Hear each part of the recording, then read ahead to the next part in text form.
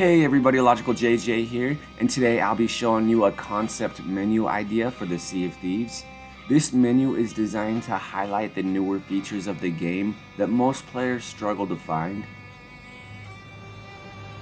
The main title menu features a jump into battle option for players who are strictly interested in the latest addition to the game. If you select this option, it will ask you which faction you would like to represent. If you select open crew, it will eliminate everybody who is not interested in battling for that faction you chose.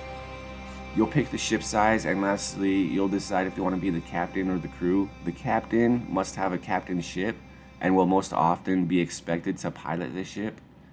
If you choose crew, it will match you with a captain and crewmates for the desired ship.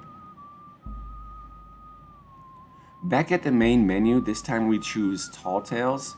Simply select the Tall Tale and Crew Ship options and it will spawn you at the Tall Tale voting point with other players interested in that same Tall Tale. Once again at the main menu and this time we choose Adventure. It will take us to a screen featuring PvE factions as well as the Bilge Rats updates where players can once again get matched with players aspiring to accomplish similar goals. Most open crew players will be able to relate that it's hard to find like-minded players without using outside resources and this in my opinion will help eliminate a lot of downtime associated with finding a game. Thanks for watching my concept menu idea. If you liked the video, please click like and let me know what you would do differently in the comments. Thank you.